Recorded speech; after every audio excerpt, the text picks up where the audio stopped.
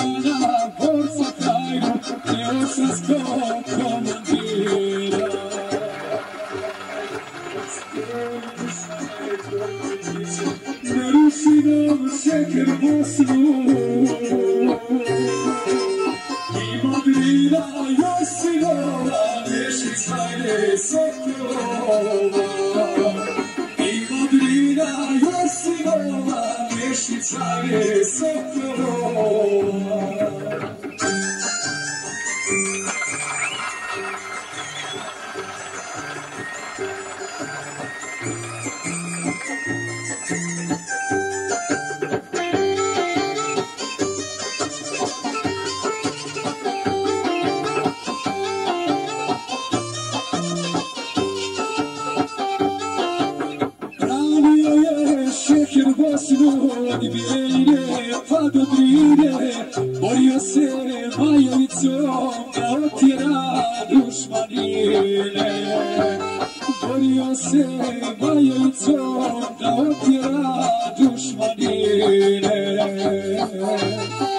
Spoj dušmane prokletnice Ne ruši nam šeher Bosnu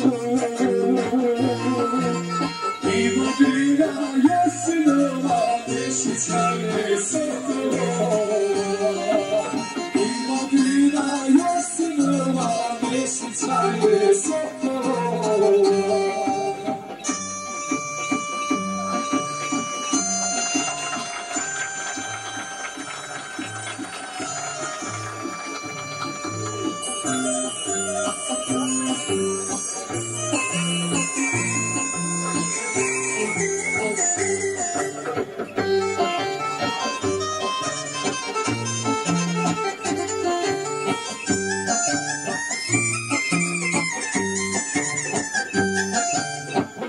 Znate dušno kleti, nikad Bosna pasti neće, ostavio Hajro nama svoju hrabrost i umjeće.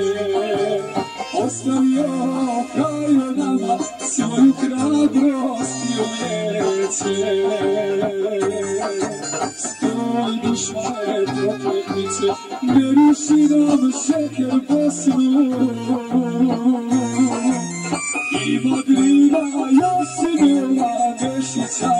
Sokolova. Ima grina Jasinova, Nešića je Sokolova.